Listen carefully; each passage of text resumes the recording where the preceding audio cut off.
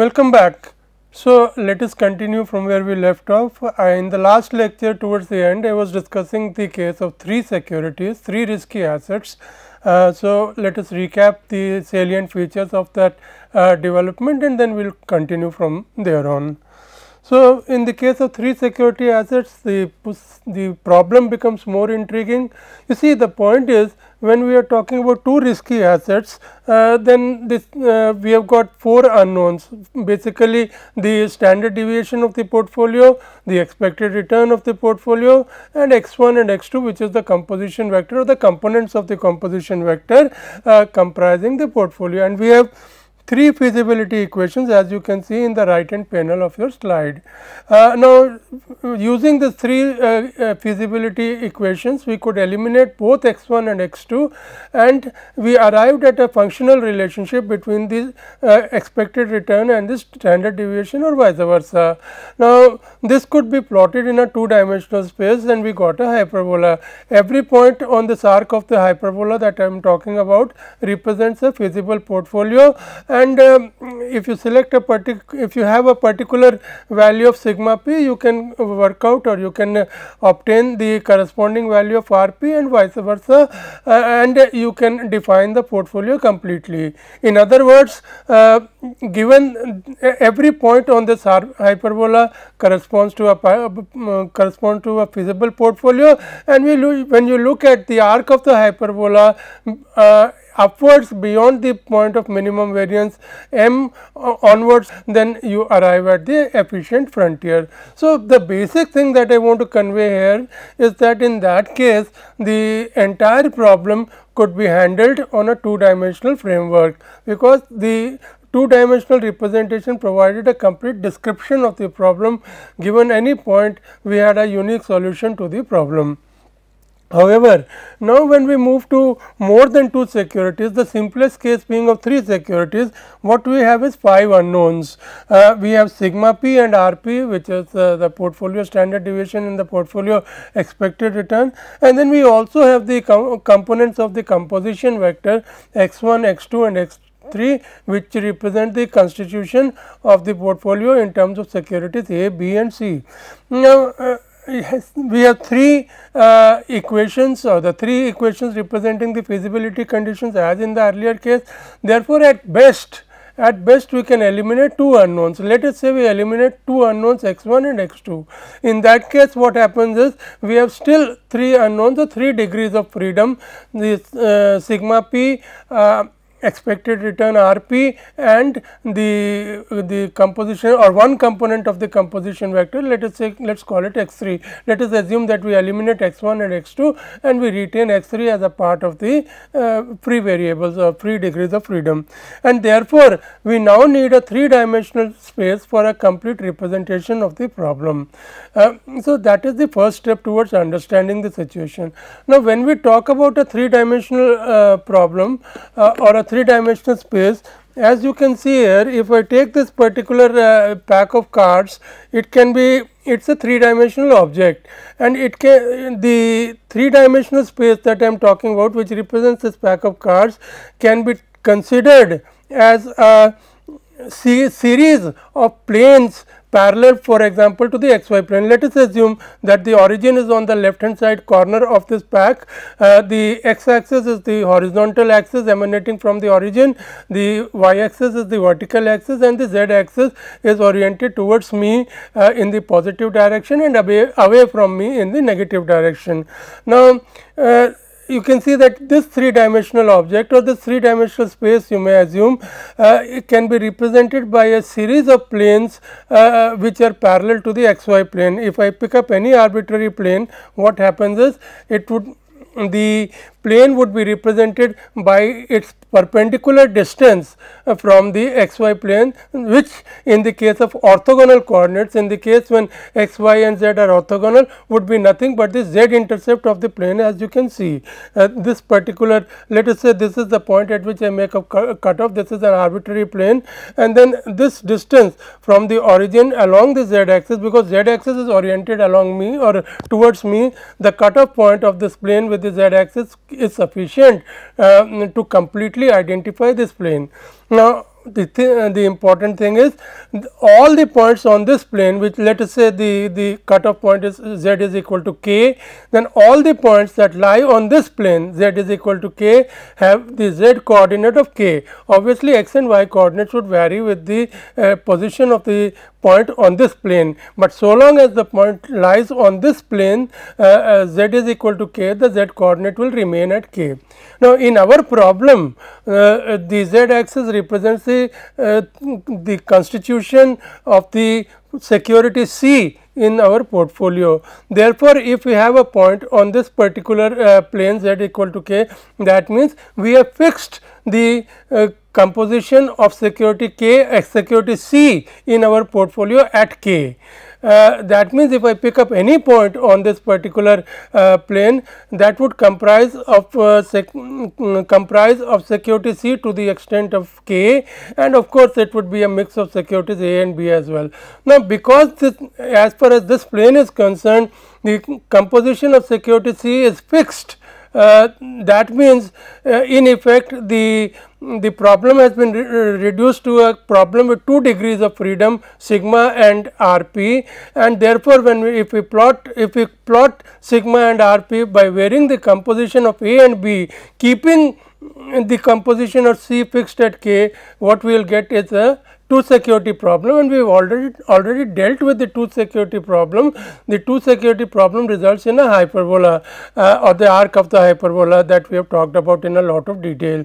And when we talk about the efficient frontier in this situation, the efficient frontier is the uh, tangent from the line emanating from the point f which represents the risk free asset in this case the coordinates of f would be what it because it lies on the z on the plane z equal to k. So, the z coordinate has to be k because it is a risk free asset the sigma p or the standard deviation would be 0 therefore, x would be 0 and uh, the y coordinate would represent the risk free return which would be r f. So, the coordinates of the point f which lies on this plane x equal z equal to k would be 0 comma uh, r f comma k. So, you take you take draw a tangent from this point f to the arc of the hyperbola which represents the two security problem in this plane because we have fixed the I, I reiterate because we have fixed the composition of the uh, third security in this case because we are lying on this plane. And it would be the tangent on uh, this particular hyperbola drawn from the point of let us say it intersects the uh, point uh, intersects the hyperbola the contact of point of contact of the tangent and the hyperbola is the point p k so, that being the case then f p k represents the efficient frontier. So, that means what? That means given a value of k or given a value of the third security, we can solve this problem as a two dimensional problem uh, and the efficient frontier would be the line would that would be the tangent to the hyperbola lying in the particular plane which is which is indicated by or which is uh, uh, recognized by the composition of the third security. Now, but our problem is different. Our problem is an extended version of this, uh, extended in the sense that we also allow the composition of the security C to vary. That means what? That means the, the value of z uh, equal to k is not fixed in our full problem. Uh, the value of z that is the that is the composition of security C can vary from minus infinity to plus infinity assuming that short sales are allowed. So, in that case the value of z can vary from minus infinity to plus infinity thus k can uh, uh, thus k can vary from minus infinity to plus infinity. That means what? That means we need to work out the efficient frontier for each value of k lying between minus infinity to plus infinity. And this would give us an infinite set of hyperbolas and we corresponding to every value of k we will do the same exercise. Let us say we take another value of k say uh, equal to L that is we identify a plane given by z is equal to L and then we do the same exercise again. We will obviously end up with a different hyperbola and uh, that lies on the plane z equal to L and then we can draw a tangent from that plane uh, from that point f which now would be what the coordinates of f would be new new point f would be 0 comma r f comma L. And uh, because now it lies on the uh, on the uh, plane uh, z, z equal to L. And we draw a tangent from uh, this point f new point f let us call it f l uh, to the hyperbola which is the new hyperbola lying on the uh, uh, lying on the plane z equal to L. Let us call it h L. And uh, then uh, uh, we identify the point of contact. Let us call it PL. So, we get another uh, another efficient frontier. This efficient frontier corresponds to what? It corresponds to the combination of securities A and B in uh, various proportions with the composition of security C fixed at L. So, this is the process that we uh, that we, we, would follow for each and every security uh, each and every security uh, composition uh, in the portfolio that means each and every value of z from minus infinity to plus infinity. The next step the second step in this exercise is to find out that that plane that value of uh, z for which this uh, uh, this tangent that we now discover let us call it the uh, value of let us call this value of z equal to alpha. So, we have now a plane out of all these planes that are that we have from minus infinity to plus infinity let us identify a particular plane by what characteristics by the characteristic that the slope of the tangent that is the slope of the line f alpha where f, f alpha is uh, the point 0 comma r f comma alpha z is equal to alpha it lies on the plane z is equal to alpha. From this point to the point p alpha which is the point of contact of uh, the hyperbola uh, h alpha with the tangent drawn from the point f alpha. Now, this the property uh, of this particular uh, hyperbola or this particular plane rather must be that uh, the slope that I am talking about the slope that is tan tan theta uh, alpha must be the maximum of all the slopes that uh, we have worked out. For example tan theta L, tan theta k and so many other values of k that we have taken or values of z that we have taken. And we have uh, for each value of uh, mm, z we have identified a hyperbola. We worked out the tangents and we worked out the slope of the tangent let us call them tan theta k tan theta L and so on. And we find that value of uh, theta or that plane uh, such that the uh, L, and the uh, slope happens to be the maximum tan theta alpha is the maximum of all the tan thetas. Now, that constitutes the optimal hyperbola and the efficient frontier is what? The efficient frontier is the line joining f alpha with p alpha where the line f alpha p alpha is tangent to the hyperbola h alpha which lies on the plane z is equal to alpha. So, this is the geometrical description of the problem. Let us quickly recap what I have tried to state uh, and then we will move on to further development of the problem. So, the portfolio possibilities equation that I explained in the last lecture is given by this equation. This is obtained by setting sigma p equal to x, expected return on the portfolio equal to y and x 3 equal to z and eliminating x 1 and x 2. The uh, result is equation number 40.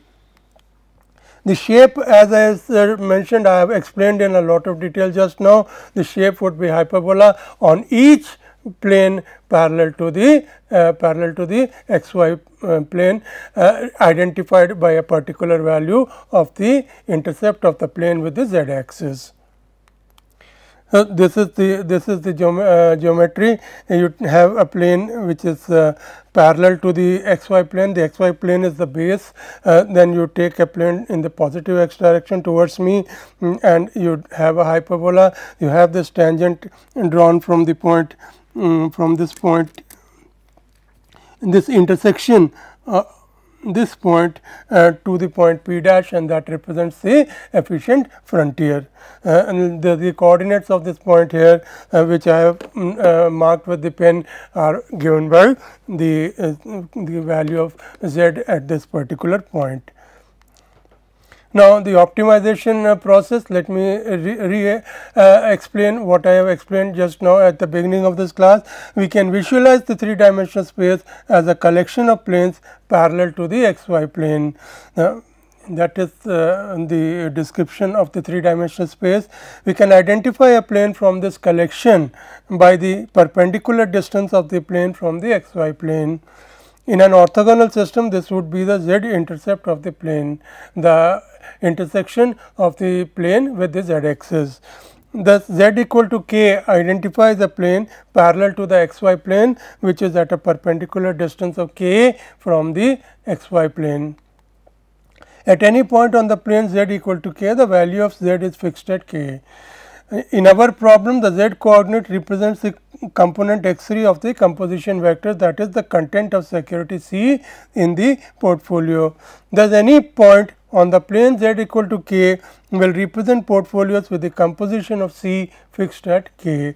Hence, on the this z equal to k plane because the content of C is fixed our problem reduces to a 2 security problem because one the composition of one security is fixed so long as we lie on a particular plane and it is given by the intercept of the plane uh, which is parallel to the xy plane with the uh, z z coordinate or z axis. The plot of x and y on the plane z is equal to k would be a hyperbola h k as in the two security problem. For this value of z equal to x 3 equal to k, the efficient frontier will be the tangent line from the risk free point that risk free point lying on this plane z equal to k. Please note this point, it is not the risk free point lying on the uh, on the plane z equal to 0 or, or which refers to the origin. It is we are to calculate or we are obtaining the tangent from the point which lies on the plane on which the hyperbola is uh, uh lying. So, these uh, the, the points f and the arc of the hyperbola and the tangent as well are all coplanar. So, for the point of z equal to x 3 equal to k, the efficient frontier would be the tangent line from the risk free point 0 comma r f comma k to the hyperbola h k. Let the slope of this tangent be tan theta k. This is the diagram as you can see here. This is the point f, the co uh, coordinates of the point f are 0, um, uh, r f and uh, k and from here we draw a tangent to the arc of the hyperbola which is the which is the portfolio possibilities curve. Given that the composition of the security is fixed at z is equal to k or x 3 is equal to k uh, and we obtain the uh, tangent as the line f p. And theta k is the angle that the tangent makes with the uh, x axis and tan theta k is the slope of that line of the tangent. Then we take another point as you can see in this diagram this is uh, this is a new hyperbola that lies on the uh, plane z is equal to L and uh, on this plane uh, we again do the same exercise we find a tangent from the point 0 R f L. Now, please note it is different from the point 0 RFK. It is coplanar with the plane on which the hyperbola is lying. So, we find the tangent from the point F and, that let the point of contact of the tangent uh, from the point F to the hyperbola be given by PL.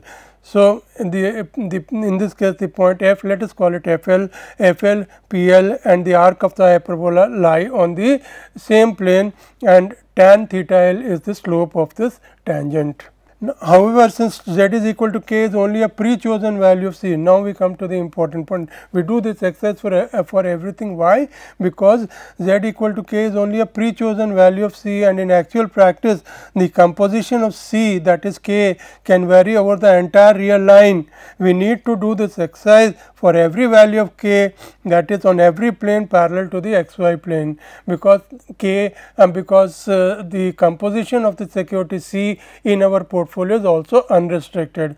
Uh, when we did the earlier exercise when we fixed z is equal to k we have fixed the composition of C uh, and now we we are varying the composition of C over the entire real axis and therefore, we are doing this uh, exercise for every plane conceivable parallel to the xy plane.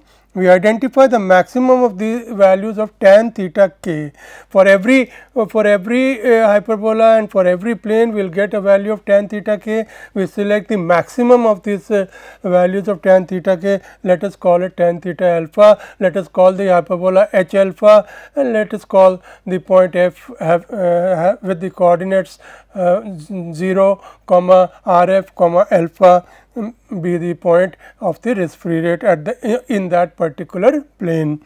Then our efficient frontier is the point uh, is the line f alpha comma p alpha that is tangent to the hyperbola h alpha and all these things lie on the plane z is equal to alpha for which the slope of the tangent is the maximum.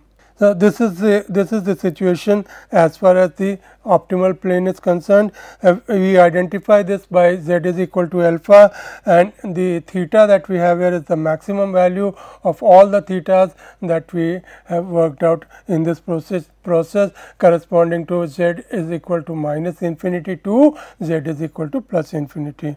Now, obviously we cannot do it mechanically uh, we cannot do the exercise mechanically. We need to have some math to help us. The math is given in this following slides. The maximized tan theta is equal to rp minus rf upon sigma p. That is straightforward. You can see from here theta alpha or any theta for uh, corresponding to this is uh, the tangent tangent of that theta is given by rp minus rf divided by sigma p. If you take the tan of theta alpha here, it is nothing but r p, r p is the expected return corresponding to point p minus r f divided by sigma p, here sigma p is the standard deviation corresponding to the point p. So, when we do this exercise, when we do this maximization, how do we do it? We differentiate with respect to the various degrees of freedom. In this case, because we have 3 securities, we can differentiate with respect to x 1, x 2 and x 3.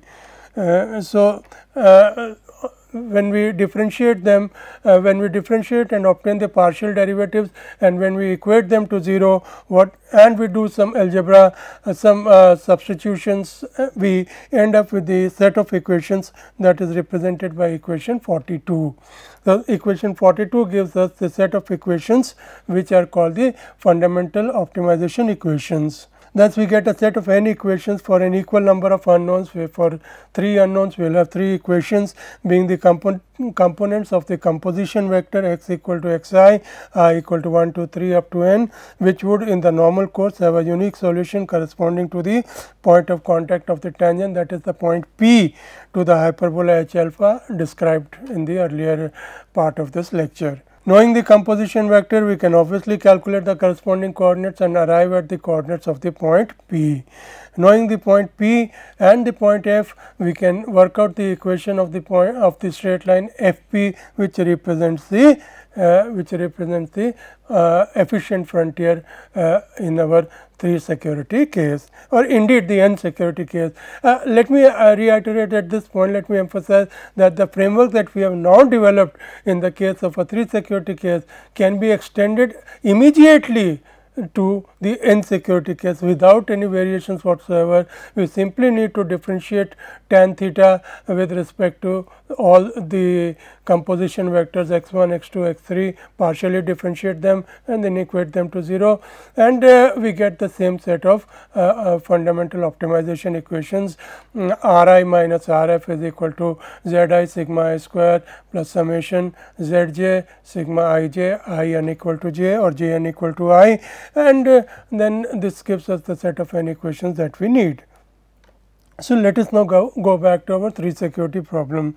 In our given 3 security problem relating to RF equal to 5 percent, if we choose RF equal to 5 percent, the set of equations that we get is um, uh, by substituting values in the set of equations 42 which is the highlighted panel we get is the set of equations that are given in the left hand side of this particular slide 9 is equal to 36 z 1 plus 9 z 2 plus 18 z 3 and so on. Solving these equations we get the coordinates of p uh, I am sorry we get the composition vector corresponding to the point P not the coordinates of P we get the composition vector corresponding to the point P corresponding to the point of contact of the tangent from the risk free rate to the arc of the hyperbola and we get these as x 1 is equal to 14 upon 18 x 2 is equal to 1 upon 18 x 3 is equal to 1 by 6. So, this is the this is what it is uh, the efficient frontier in this case the line f p which now you can see is lying on the plane z is equal to 1 by 6 x 3 is equal to 1 by 6. So, the composition of x 3 in the optimal portfolio in the efficient portfolio is 1 by 6 and the composition of x 1 and x 2 are also obtained by solving the optimization equations and we get these values as um, 14 by 18 and 1 by 18 and using all this information using the correlation coefficients and everything we are able to calculate the mm, coordinates of the point P and they turn out to be 203 upon 6 to the power 1 by 2 uh, 44 by 3 for the expected return and 1 by 6 because this point lies on the plane z is equal to 1 by 6 uh, which represents the composition of security C in the uh, the, in the efficient uh, frontier. The efficient frontier, the equation of the efficient frontier is simply the equation of the line f p which is given by this expression here on this slide. Now, we move on to the second section of this problem. The second section of the problem deals with the tracing of the entire efficient frontier that is if you are given three securities A, B and C and let us say you are not having risk free lending on borrowing, what would be the situation, what would be the shape of the efficient frontier. Uh, let us now tackle this problem. Now, this I will explain stepwise. The first step is uh, to solve these optimization equations, fundamental optimization to corresponding to a particular risk free rate. We have already done it for the risk free rate of 5 percent and using that risk free rate of 5 percent, we have arrived at the composition of the uh, uh of the point of contact of the tangent uh, to the hyperbola in the in the optimal uh, plane uh, that is z is equal to 1 by 6 or x 3 is equal to 1 by 6 and we get the composition as x p 1 that is the content of security A in the portfolio P as 14 by 18, the content of security B in the portfolio P is 1 by 18 and the content of security C in the portfolio P as 1 by 6. So, we know fully the we know fully the composition of the portfolio P and using that composition using the uh, the information about the um, uh, um, uh, variance correlation covariance covariance matrix we can arrive at the coordinates of the point P including the expected return which is also given for the individual securities A, B and C. So, we can work out the expected return corresponding to the security P or the point P and hence we can identify the point P completely in this space. Now, the next step is that we take a second risk free rate let us say we take a second risk free rate say 2 percent RF equal to 2 percent and again solve the same set of equations. When we solve the same set of equations taking the risk free rate as 2 percent the solution that we arrive at let us say the corresponding point is q. In other words let us say the uh, uh, the point uh, of contact of the tangent from the point R uh, f dash this is a new point which has a, which corresponding corresponds to a risk free rate of 2 percent with the hyperbola which has the maximum slope is uh, the point which is represented by the composition vector x q 1 is equal to 7 by 20, x q 2 is equal to 12 by 20 and x q 3 is equal to 1 by 20. Please note this point lies on a different hyperbola, uh, a different plane altogether and uh, because it corresponds to a different risk free rate. So, the, the, uh, the inferences that correspond to different risk free rates, we get the optimal hyperbola, the optimal plane as uh, being different planes uh, on the um, parallel to the xy uh, plane.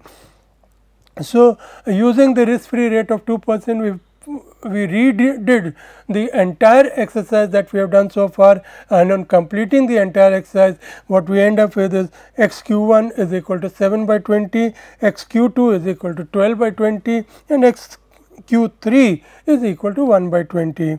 The standard deviations and expected returns can be calculated because we know the um, variance covariance matrix and we also know the uh, expected returns on the securities A, B and C. We know their respective compositions content in the portfolio Q and therefore, we can work out the standard deviation and expected return of Q and we find the standard deviation of Q to be 5481 divided by 400 square root and the expected return to be 107 divided by 10. So, the coordinates of the point Q are identified as 5481 upon 400 1 by uh, to the power 1 by 2 107 upon 10 and 1 by 20 and it lies on the plane z is equal to 1 by 20. Please note the earlier point the point P uh, uh, lie on the plane z is equal to 1 by 6. So, they lie on different planes parallel to the xy plane please note this point. So, uh, this is uh, uh, what I have emphasized again. Uh, let me read it out once more because this is important. The hyperbola, this hyperbola lies on a different plane from the hyperbola corresponding to RF equal to 5 percent. Uh, that is the two hyperbola are non-coplanar. In, a, in fact, the hyperbola corresponding to different risk free rates shall lie on different planes parallel to the xy plane. So, I repeat the hyperbola corresponding to different risk free rates shall lie on different planes parallel to the xy plane. The next step uh, I also explained in the last lecture is that linear combinations of two efficient portfolios is efficient linear combinations of two efficient portfolios is efficient.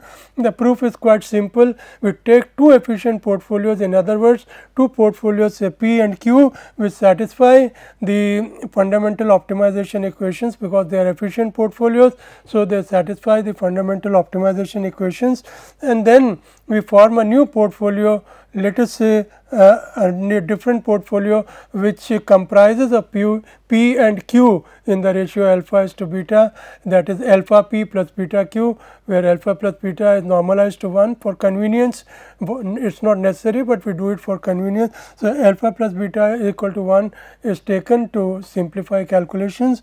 And using this fact uh, we end up with the inference that the new portfolio that we have formed also satisfies also satisfies the optimization equations albeit with a different risk free rate. What is the inference? The inference is that a combination of two efficient portfolios is efficient, is also efficient, but it corresponds to a different value of the risk free rate because the new portfolio the linear combination of P and Q also satisfies the fundamental optimization equations, but with a different risk free rate.